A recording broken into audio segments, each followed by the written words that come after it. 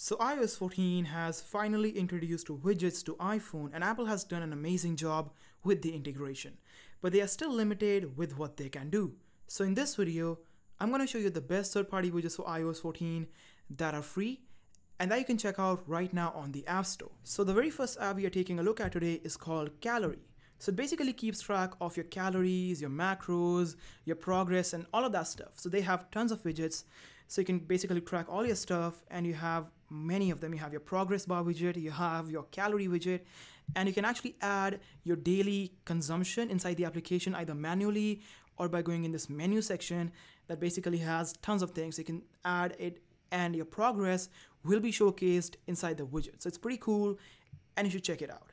Now the next app we are taking a look at today is called Good Task and it basically keeps track of all your events, your reminders and your lists and you can either sync them from your reminders and calendars or you can make your own inside the application itself.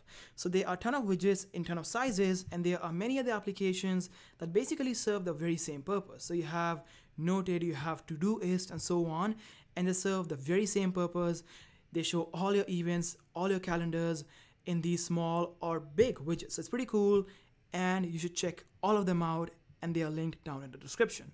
So moving on, the next app is called Weatherline and I have been using this app even before I updated to iOS 14. So it's one of the best weather applications on App Store and as the name suggests, your weather is showcased through a line and there is tons of information in this application. So you can select your current location or a particular location and you can either select between hourly widgets and widgets that cover the entire day. It's very detailed and it works pretty well. Now this next one is for all Reddit users out there. It's called Apollo and I'm pretty sure you know about this already. So they have updated their amazing application to work with iOS 14.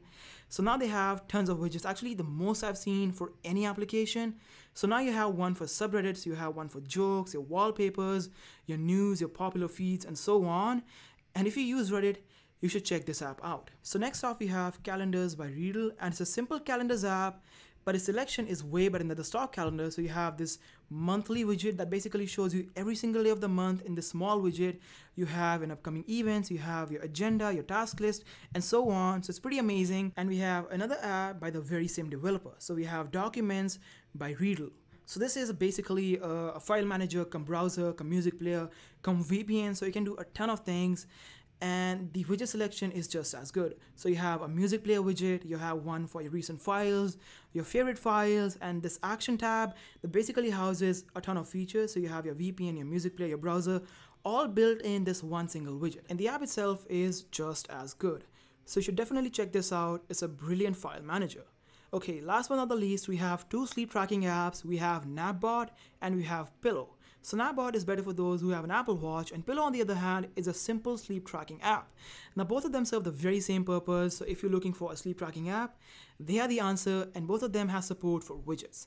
Now of course there are a ton of more widgets that work with iOS 14 but I cannot cover every single one in one video so I'm going to quickly list every single one that actually works as of now. So we have the Google app, we have Food Noms, we have Habit Minder, we have Aviary, we have Water Minder, Health View, Unwind, Smart Gym and so on and there are actually a ton of more that work. So yeah, it's pretty amazing, but we haven't seen any from the common apps like Facebook or Instagram. So maybe that is something that might be happening really soon. So that is pretty much it. I hope you guys enjoyed the video. And if you did, give it a big thumbs up.